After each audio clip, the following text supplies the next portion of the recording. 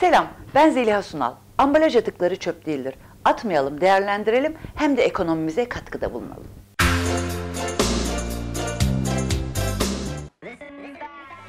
Şimdi telefonlarla konuşuyoruz ama şarjı çabuk bitiyor. Elimizde böyle şarjlarla geziyoruz. Ama bunların kabloları da hiçbir yere sığmıyor.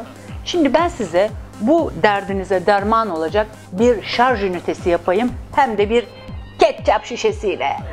Gerekli malzemelerimiz bir ketçap şişesi, şampuan şişesi de olur. Ee, süslemek için gerekli malzemeler maket bıçağı ben iki tane kullanacağım çünkü bu biraz bazı yerleri sert bir plastik. O yüzden kalın yerlerini bununla keseceğim. Bir makas gerekir gerekmez yine süslerimiz var ve bir kalem. Kalemi işaretlemek için kullanacağım. Şimdi genellikle son zamanlarda e, kullandığımız telefonlarımız, akıllı telefonlarımız özellikle oldukça büyük. Ve bunları e, ortalıkta şarj etmek inanın bana çok zor oluyor. Dolayısıyla böyle bir fikir üreterek daha rahat edeceğiniz bir üniteye size e, kavuşturacağım. Hem süslü püslü olsun hem de çok da kullanışlı. Şimdi öncelikle koyacağımız yeri çizelim. Altta kalan yeri biraz daha küçük olabilir. Yeter ki otursun tam yerine.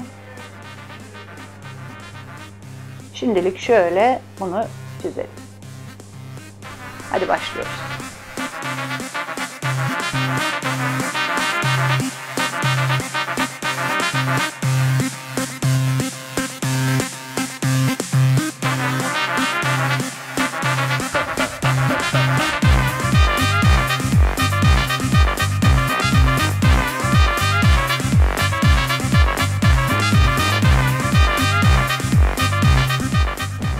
Şimdi buraya bunun şarj ünitesinin gireceği bir delik açalım.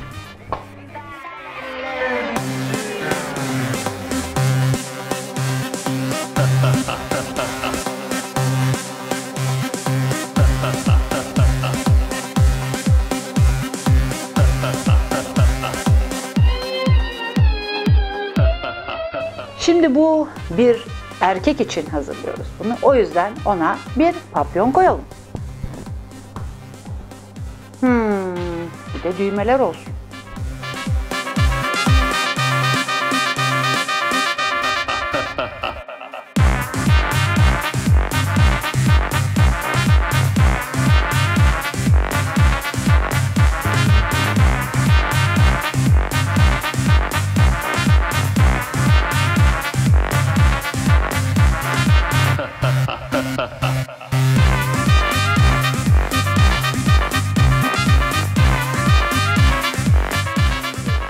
İşte gördüğünüz gibi şarj ünitemiz hazır.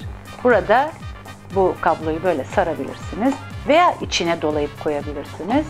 Şimdi ben dolayacağım sadece ve şurada gördüğünüz delikten de işte bunu takalım. Şimdi tabii bu an bir yanımda bir priz yok ama şunu priz olarak düşünürseniz şöyle düşünelim. Voila! Güle güle kullanın.